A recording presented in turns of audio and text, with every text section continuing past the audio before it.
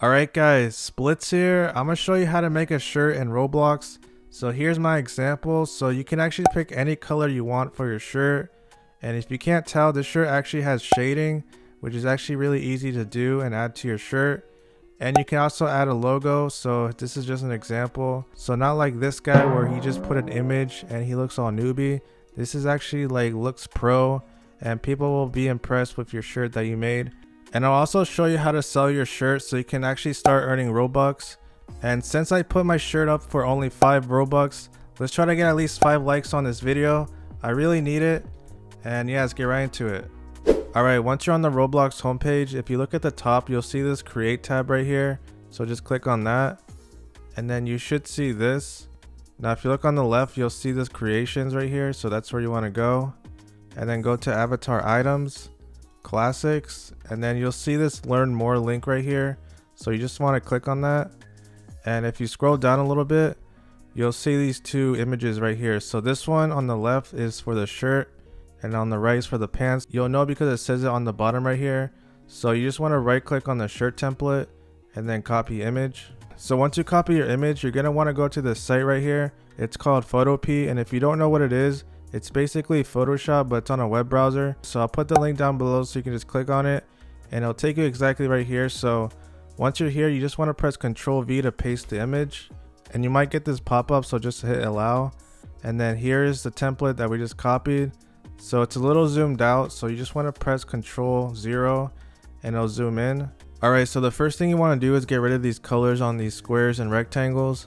So in order to do that, you just want to go to this one icon and just hold click and then make sure you press the quick selection tool. And then all you gotta do is just click each square and just hit delete just like how I'm doing right now. So it's pretty easy you just click it and then hit delete on your keyboard. And this is what it should look like. So now you'll see these lines like around the squares and rectangles. So to get rid of that just press ctrl D and then this is what the template should look like. It should all look transparent now Alright, the next step is to pick the color for your shirt. So we're going to need to make a new layer. So just go right here on the bottom and just click this. And we should be on layer 1. And then you want to go to this gradient icon. Just hold click and then make sure you pick the paint bucket tool. And then once you do that, now you can pick your color. So I'm actually going to make my color blue. So just like that. Just press OK. And then just click anywhere and then you should see a solid color like this pop up. All you have to do is just move the layer under the background just like this. And then you'll notice that the transparent spots are now blue. So you'll notice on the bottom, there's these two squares right here. These are actually the hands. So we have to move this color up so these two squares can be transparent. So all you have to do is just go to this move tool right here and just drag up just like this and now the two squares are now transparent. Alright, the next thing you want to do is add some shading so it doesn't look like the solid color. And it'll also make it more realistic. So you just want to go to Google and just type in Roblox shading shirt. And then just go to images. And I'm to just use this one. So once you find the image, you just want to right click and then copy image. And then go back to Photopea. And then you want to press Control V to paste and you'll notice that the shirt now looks more realistic and a lot better. So you'll notice that it added shading on these two squares, so we actually have to get rid of that. So make sure you're on layer 2, and then you want to go to this rectangle tool, and just click and drag around the two squares, like this, and then hit delete. And now control D to get rid of those lines. And now the two squares are now transparent. Alright, now it's time for the final step, and that's to add a logo to the front. So I'm just going to go back to Google. So my logo is going to be a subscribe button. So I'm just going to copy the first one that I see. So once you find your logo, right click and then copy image. Go back to Photopea and then control V to paste. If your image is too big, you want to go to this move tool right here and then check transform controls. And then you just want to move the image. This image is way too big. I have to make this a lot smaller. Alright, I think that right there is good. So once you find your spot, you just want to press this check mark right here. And then just uncheck transform controls. And here's my logo that I added to my shirt. Alright, so now we're basically done. And obviously this isn't the greatest shirt you'll ever see.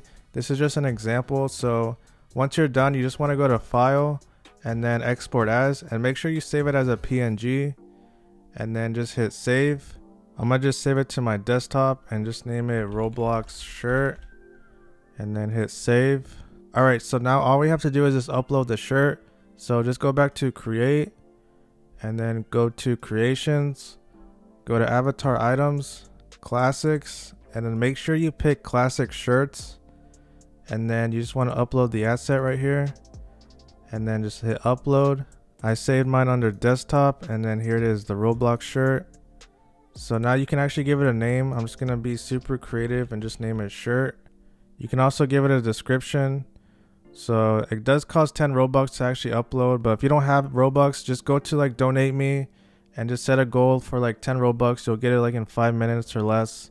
So yeah, just hit upload and then it should be done. Just give it a sec.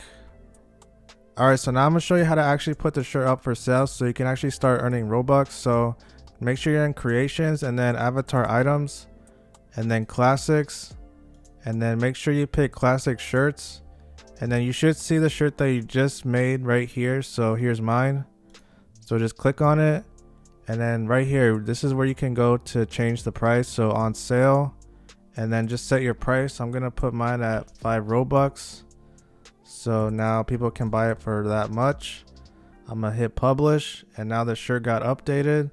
So now it's basically now for sale. So we can now go back to just normal roblox all right now i'm gonna show you how to actually put the shirt on so just go to your avatar and then go to clothing, classic shirts, and then you'll see the shirt that I made is right here. So just click on it and then it should apply it. So there's my shirt. So now I'm gonna show you how it looks like in game. So here's what my shirt looks like in game. Looks pretty good. So let's get a full 360. So yeah, that's basically how you make a shirt. So yeah, good luck on selling your shirts. Hopefully you get some Robux out of it. So yeah, make sure you guys leave a like and subscribe. This helped you out. And yeah,